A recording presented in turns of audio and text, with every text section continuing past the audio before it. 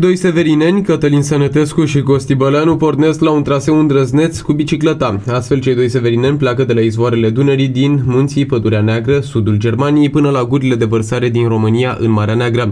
Astfel, cei doi doresc atât să cunoască locuri noi, tradiții și oameni, dar și faptul că poartă steagul României pe tot parcursul Bătrânei Doamne este un lucru care atrage și promovarea municipiului Turnu Severin și a țării. Doi cicliști din uh, Drobeta Turnu Severin, Cătălin Sănătescu, adică subsemnatul și Costi Băleanu, prietenul meu, vor face un traseu de 2700 de kilometri de la izvoarele Dunării până la Marea Neagră. Provocarea constă în faptul că vrem să facem acest traseu cât de repede se poate, fiind între două concursuri de alergare, pentru că noi suntem alergători montani înainte de a fi bicicliști. Uh, vom avea o medie de undeva 170-190 de kilometri pe zi dacă ne va permite vremea, adică să nu avem vânt din față și ploaie torențială, pentru că în aceste condiții uh, va trebui să ne oprim. Rugăm frumos, care va fi traseul? Traseul va pleca uh, de la izvoarele Dunării, de la Donaueschingen, este o localitate în Germania la graniță cu Elveția și va urma traseul chiar pe malul Dunării, unde este Eurovelo 6. În Europa acest traseu este marcat, sunt piste pentru bicicliști special amenajate, sunt indicatoare, sper să nu fie niciun fel de problemă cu orientarea, pentru că am decis să fim totuși cât de cât minimaliști, să nu ne luăm uh, GPS-uri cu noi și alte sisteme care să ne facă să depindem de, de curent.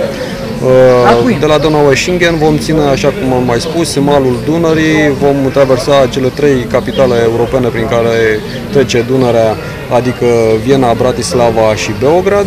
Și vom continua până la Marea Neagră. Este o provocare, mai ales că ne-am propus să-l facem la un mod uh, sportiv, uh, cumva diferit față de modul în care occidentalii îl parcurg în mod uzual. Ne propunem etape lungi, cu toate că nu vrem să facem rabat de la scopul călătoriei și aceea de a vedea locuri noi, de a interacționa cu localnicii și de a împărtăși experiențele. Știm că dumneavoastră ați mai fost și în alte trasee. Cum a fost atunci? Uh, fără niciun dar și poate atunci a fost mai greu. Odată a fost mai greu uh, pentru că am fost singur, a fost mai greu pentru că nu lipsea experiența pe care o am acum.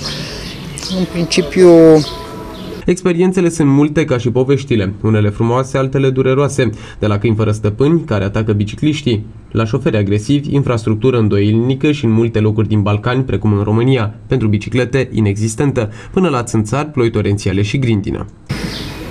Spuneți-mi pe traseul dumneavoastră, ați întâlnit fel și fel de oameni. Cum sunt ei? Se arată receptivi față de dumneavoastră, față de bicicliști, de turiști?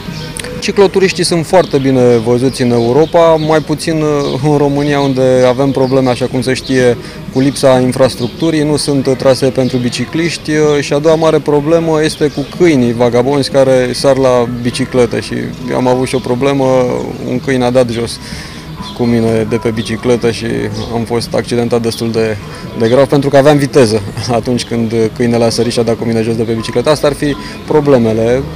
O mică problemă probabil va fi cu țânțarii, pentru că tot traseul va avea loc pe malul Dunării și din acest motiv ne-am luat uh, și loțiunea antițânțar și corturile. Dacă n-am fi fost pe malul Dunării, să fim cât mai ușor, poate că nu ne-am fi luat corturile cu noi. Uh, noi preferăm să dormim și sub cerul liber. Echipamentul este unul obișnuit, cort, sac de dormit, biciclete, încredere și speranță. Cu ce plecați okay. dumneavoastră? Cu ce echipament? Păi, uh, în mod normal, în afară de biciclete, echipamentul este un echipament uzual de camping, aproape la fel cu echipamentul cu care mergem la munte.